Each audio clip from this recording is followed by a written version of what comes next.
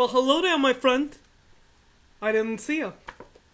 Uh, lately I've been reading something that uh, caught my eye, so to speak. Uh, it's called uh, Gender Trouble by a Miss Judith a Butler. Oh, well, my friend, now that you're here, I suppose the best thing I could do would be to share with you some things that I have learned about sex and gender from Miss Judith Butler. Let us begin, as always, with Chapter 1. Chapter 1 Subjects of uh, Sex, Gender, and Desire. Uh, I'd like to begin with a few quotes about the nature of uh, sex, gender, and desire. Uh, to begin, one is not born a woman, but rather becomes one. Simone Beauvoir. Uh, number two, strictly speaking, uh, women cannot be said to exist. Well, uh, as painful as that is for my beating heart to hear, Julia Kristeva, I cannot argue with you that, strictly speaking, they cannot. Uh, another quote. Woman does not have a sex wise words with Luce Irigaray. Now, one of my personal favorite theorists, uh, the deployment of sexuality, established this notion of sex. Michel Foucault delivers that quote to us. And, uh, finally, on an ending note, the category of sex is the political category that found society as heterosexual. Monique Wittig. Now, to begin with our uh, theorist of the hour, Miss Judith Butler. Mixed Judith Butler, perhaps? Whatever pronouns you prefer, baby, I'm willing to employ. To begin, number one, women as the subject of feminism.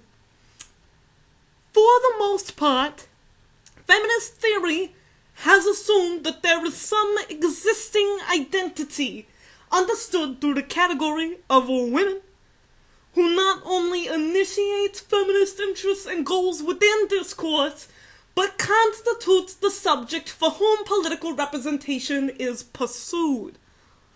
Wow. But politics and representation are controversial times.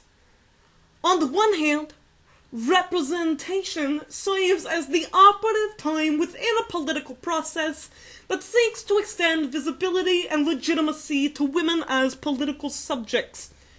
On the other hand, representation is the normative function of a language which is said to either reveal or to distort what is assumed to be true about the category of a woman. For feminist theory, the development of a language that fully or adequately represents women has seemed necessary to foster the political visibility of women. This has seemed obviously important considering the pervasive cultural condition in which women's lives were either misrepresented or not represented at all. Or recently, of this prevailing conception of the relation between feminist theory and politics has uh, come under challenge from within feminist discourse. The very subject of a woman is no longer understood in stable or abiding times. There is a great deal of material that not only questions the viability of the subject as the ultimate candidate for representation, or indeed liberation, but uh, there is very little agreement, after all, on what it is that constitutes or ought to constitute the category of women. The domains of political and linguistic representation set out in advance the criterion by which subjects themselves are formed, and with the result that representation is extended only to what can be acknowledged as a subject. In other words, the qualifications for being a subject must first be met before representation can be extended. Wise words, Miss but Miss Mix Mister?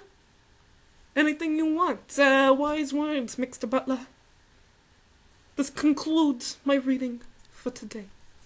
Thank you very much, ladies, and gentlemen, and queers.